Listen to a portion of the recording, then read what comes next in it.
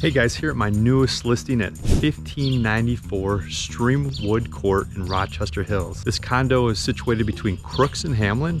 It is two bedrooms, one and a half baths. One of my favorite features here in the house, you'll see in the great room as we go through, they put bamboo flooring, very durable, very natural looking flooring, and it goes throughout the great room into the dining space.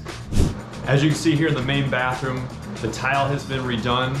It's a beautiful ceramic tile in the shower area and floor.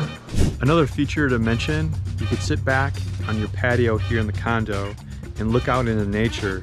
Very secluded, very private. I appreciate you guys coming check out my newest listing here on 1594 Streamwood Court in Rochester Hills. These condos rarely become available out here. If you have any specific questions or would like a private viewing, please contact me directly.